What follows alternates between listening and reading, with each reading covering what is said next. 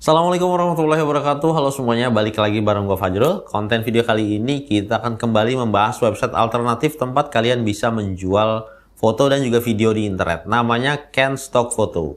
Jangan ke mana-mana, kita akan bahas sesaat lagi.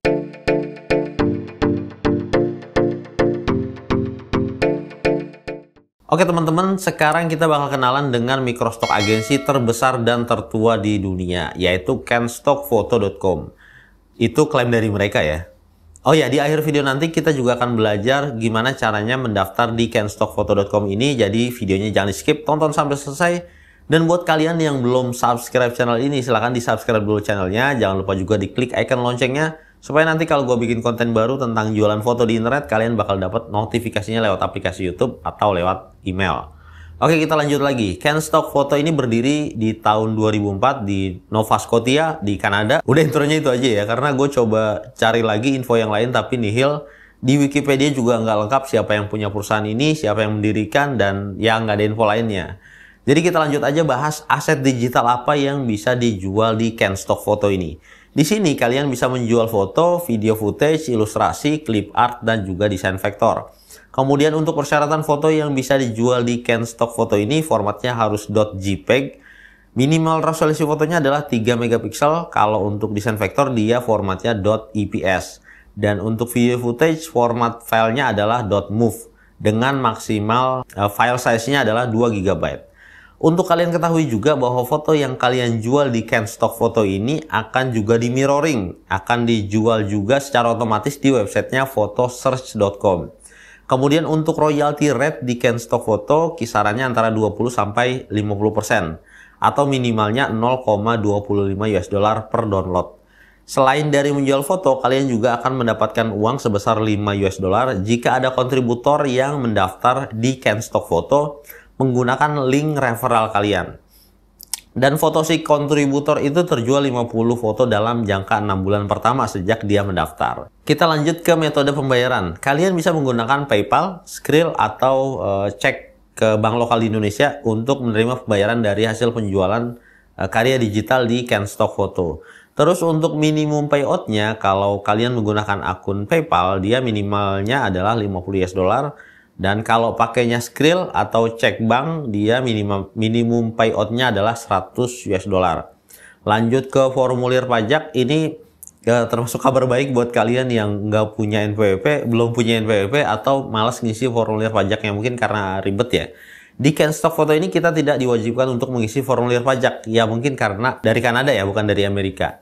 Kemudian untuk mendaftar menjadi kontributor di Canstock Photo sayangnya belum ada aplikasi uh, kontributornya baik yang versi Android maupun yang iOS. Jadi kalau teman-teman mau daftar kalian buka aja website mereka di canstockphoto.com garis miring register.php.php dan kalian wajib mengupload tiga foto terbaik untuk di-review sama timnya Canstock Photo ketika teman-teman awal mendaftar. Oke, sekarang kita langsung aja praktek gimana cara mendaftar menjadi kontributor di canstockphoto.com. Kalian masuk dulu ke websitenya di canstockphoto.com garis miring register.php. Kemudian kalian isi formulir pendaftarannya. Your name ini kalian isi nama lengkap kalian. Kalau cuma satu kata, kasih spasi dan titik di akhirnya. Kemudian email address kalian isi dengan alamat email yang masih aktif. Buat yang belum tahu, satu alamat email itu boleh kalian gunakan untuk mendaftar di banyak microstock agensi. Kemudian username ini kalian isi boleh dengan nama atau nama panggilan atau ya bebas aja sebenarnya. Pokoknya dia minimalnya tiga karakter dan boleh juga pakai kombinasi angka dan juga underscore. Terus password ini e, bebas juga, dia minimalnya 6 karakter, boleh disamakan dengan password email misalnya atau kalian bedakan juga dibolehkan. Kemudian di retype password ini kalian ulangi lagi passwordnya Kemudian pilihan ini uh, keduanya di checklist saja dan kalian klik create account.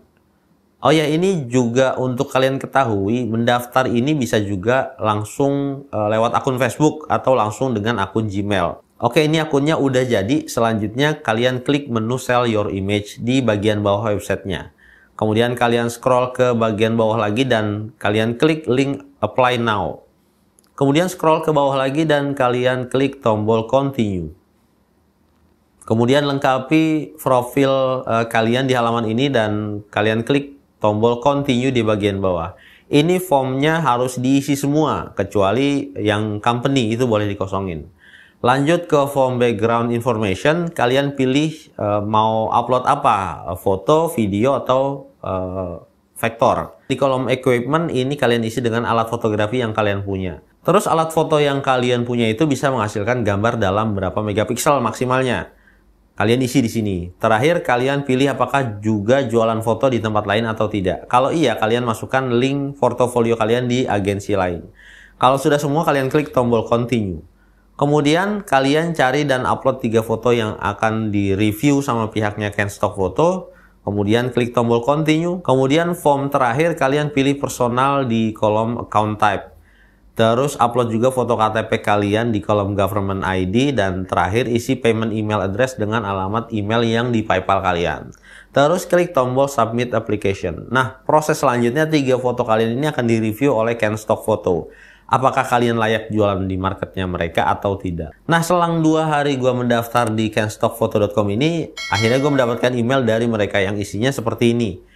Ini artinya pendaftaran gue diterima sama Ken Stock Foto dan siap untuk jualan foto di marketnya mereka. Oke, jadi ini proses pendaftarannya udah selesai ya. Terus untuk uh, video selanjutnya kita bakal belajar bagaimana cara mengupload foto atau video di kenstockphoto.com ini. Dan seperti biasa kalau masih ada yang ditanyakan atau kalian mau request mungkin dibuatkan video apa selanjutnya, silahkan kalian tulis di kolom komentar ya. Jangan lupa juga di like dan juga share video ini kalau kalian rasa bermanfaat. Kita ketemu lagi di konten selanjutnya. Tetap semangat nyetop, jaga kesehatan. Assalamualaikum warahmatullahi wabarakatuh.